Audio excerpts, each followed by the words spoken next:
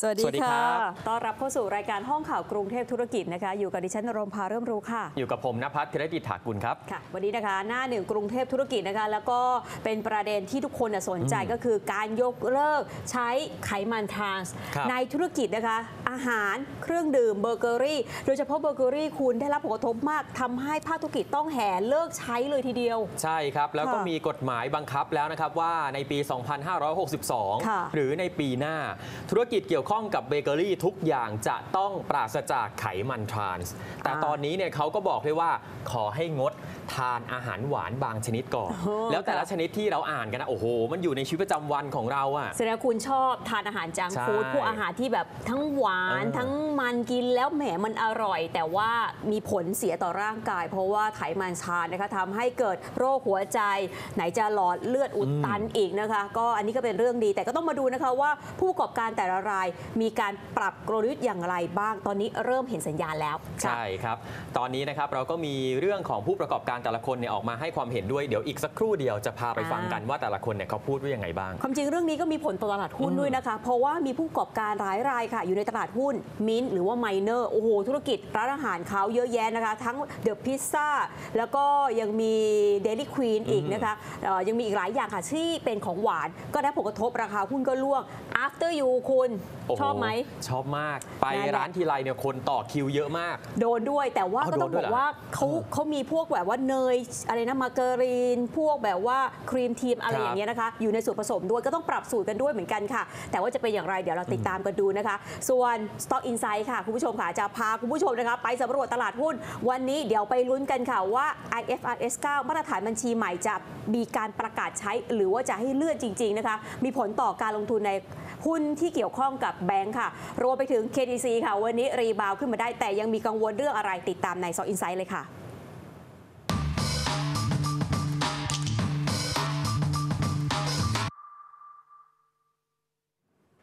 เอาละค่ะตลาดหุ้นไทยนะคะ เปิดมาปรับตัวย่อลงไปวันนี้ผิดคาดค่ะคาดว่าจะ rebound ก็ไม่สามารถยืนในแดนบวกได้นะคะ ทุกคนยังมีความกังวลใจค่ะ วันนี้ราคาน้ำมันก็ร่วงนะคะ หลังจากที่สหรัฐเปิดโอกาสค่ะให้ชาติต่างๆนะคะ บอกว่าถ้าเกิดว่าไปเจรจาซื้อน้ำมันจากอิหร่านก็ไม่โดนคว่ำบาตรค่ะ เลยส่งผลทำให้น้ำมันก็ไม่ได้รับผลกระทบมาก ก็เลยมีการปรับตัวลดลงมานะคะ เพราะว่า supplyอาจจะไม่หายไปค่ะ รวมไปถึงกลุ่มแบงค์ค่ะต้องติดตามกันอย่างใกล้ชิดเลยวันนี้กกบนะคะจะมีการประชุมแล้วตกลงจะเห็นชอบให้เลื่อนมาตรฐานบัญชีใหม่หรือว่า IFRS 9 หรือว่าจะให้ใช้ต่อไป ซึ่งจะมีผลคือ1มกราคม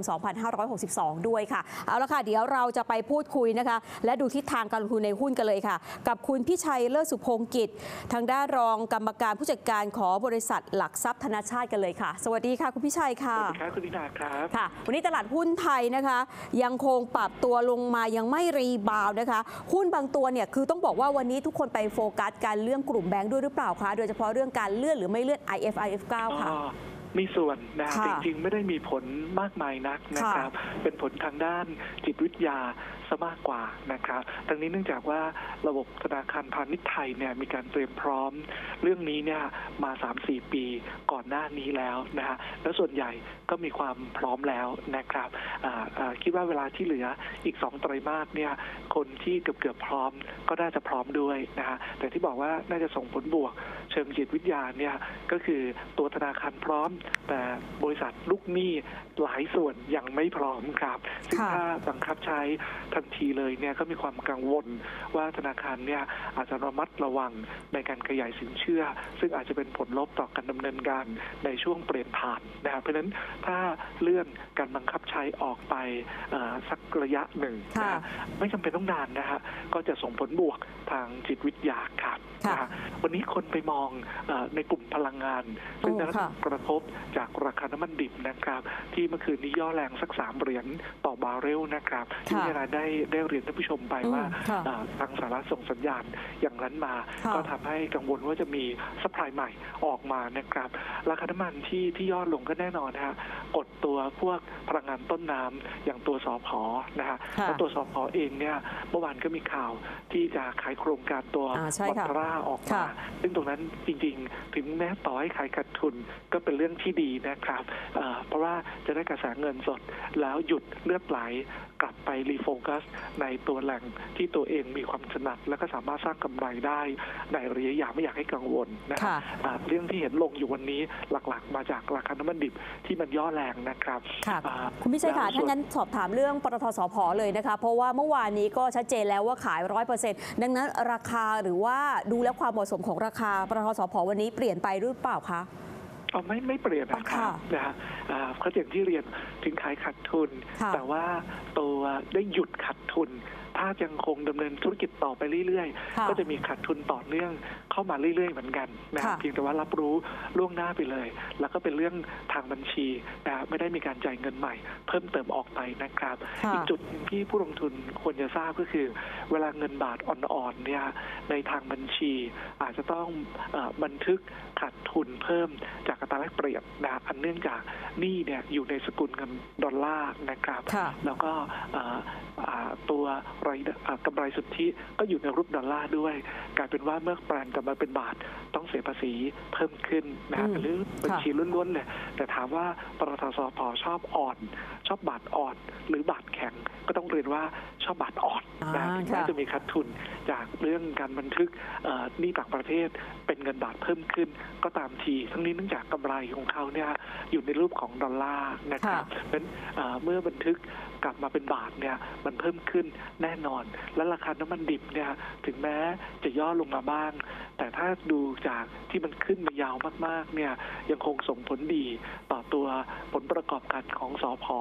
ต่อเนื่องเออไปถึงปีหน้าเลยนะเพราะทุกครั้งที่มีการทบทวนสัญญาเอ่อซื้อขายก๊าซราคาซื้อขายก๊าซเนี่ยเอ่อก็มีทิศทางที่จะแกว่งเพิ่มขึ้น แล้วคนเล่นตัวนี้ก็คงต้องติดตามการประมูลแหล่งก๊าซในอ่าวไทย คือแหล่งงั้นมงค่ะกฎกับแหล่งเอราวัณครับค่ะ งั้นถามราคาหน่อยตอนนี้ 131 บาท 50 สตางค์ถ้าเกิดว่าไม่มีผลอะไรแม้ว่าจะขายหรือไม่ขายมอนชาร่าก็ตามทีนะคะสำหรับราคาหุ้น ตรงนี้ราคาหน้าเข้าไปสะสมไหมคะเอ่อ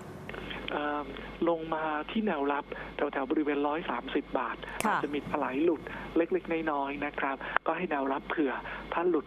130 บาทเนี่ยอาจจะดูตรงแถวๆใกล้